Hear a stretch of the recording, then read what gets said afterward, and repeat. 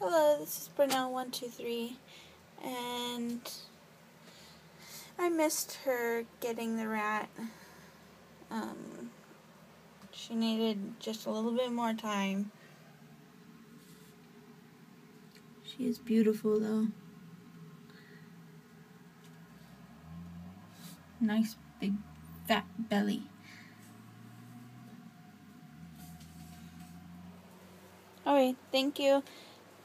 Please remember to like and subscribe. And have a nice day. Bye.